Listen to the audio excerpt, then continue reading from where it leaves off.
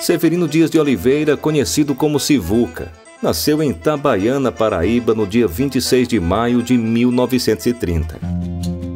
Por ser albino, ele tinha que evitar o sol em excesso. Até para brincar ou trabalhar era preciso muito cuidado com a exposição ao sol. Ainda criança, ganhou de presente uma sanfona. Não tinha 10 anos quando já sabia tocar e tocava muito bem nessa idade.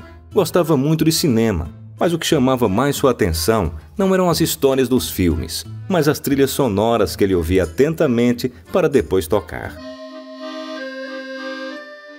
Ainda nos anos 40, ele começou a se apresentar profissionalmente, tocando em festas e até mesmo em circos. Ele tinha encontrado uma forma de trabalho que não seria prejudicial à sua saúde e que ainda era prazeroso para ele.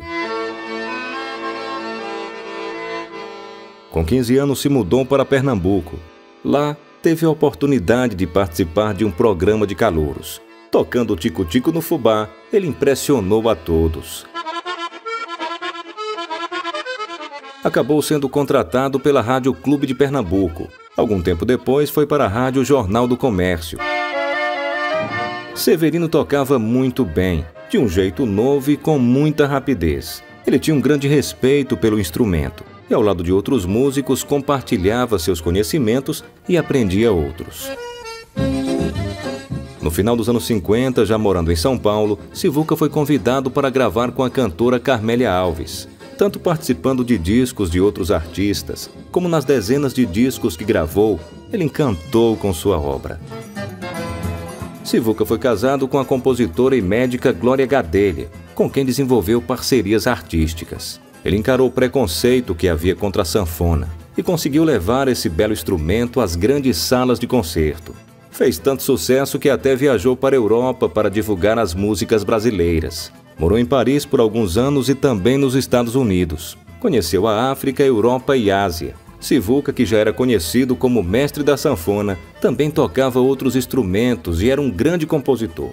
Passou a ser representante da música brasileira no exterior. Durante muitos anos tocou com músicos de vários estilos. Sivuca se consagrou como um dos quatro gigantes do acordeon.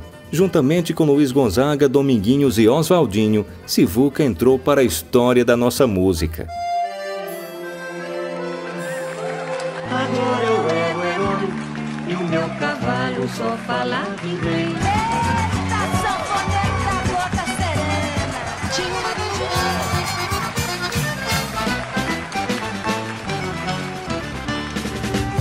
Adeus, vou-me embora, Maria.